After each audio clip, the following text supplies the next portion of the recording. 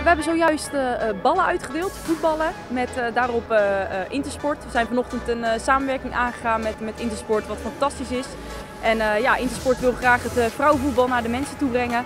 En wij hebben hier vanochtend, of vandaag de eerste stap gezet door ook letterlijk de ballen naar de mensen toe te brengen. Enthousiaste, enthousiaste reacties en ja, hopelijk hiermee de eerste aanzet tot ja, een hele grote groep mensen die ons volgend jaar kan steunen tijdens het EK. I'll do my best. Okay. Thank you. Thank you.